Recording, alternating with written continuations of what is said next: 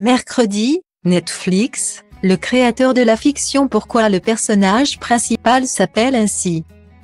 Le 23 novembre dernier, Netflix a dévoilé une nouvelle série qui promet de ravir les plus nostalgiques, Mercredi. Cette fiction, centrée sur la célèbre adolescente rebelle de la famille Adams, rencontre déjà un énorme succès sur la plateforme américaine.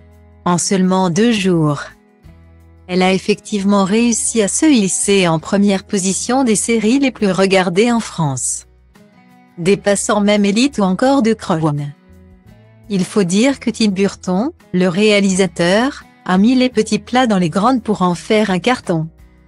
En effet, au sein du casting apparaît la célèbre Catherine Zeta-Jones, qui incarne le rôle de Morticia Adams, l'épouse de Michael Douglas n'avait pas été vue depuis son apparition dans Prodigal Son.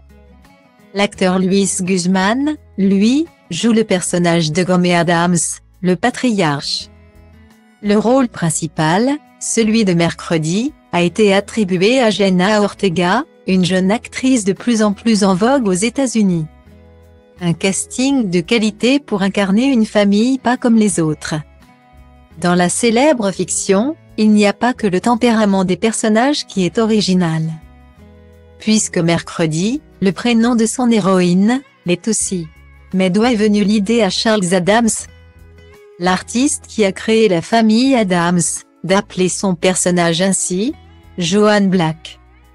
Une femme qui a croisé la route de son créateur, s'est confiée à ce sujet dans les colonnes du New Yorker en 2018. J'ai rencontré Adams à New York il y a plus de 50 ans. Lors d'une fête. J'étais tellement déprimé que je me suis assis sur le canapé toute la soirée. Adams s'est assis à côté de moi et m'a demandé ce qui n'allait pas. Je le lui ai dit. Il m'a pris par le bras, m'a fait rire et m'a dit que la famille Adams allait se transformer en spectacle. Il n'avait pas de nom pour la petite fille. Je lui ai répondu Wednesday Wednesday's child is full of you. L'enfant du mercredi est plein de malheur. Une citation inspirée du poème Mondest Child qui a, semble-t-il, incité Charles Adams à appeler son héroïne ainsi.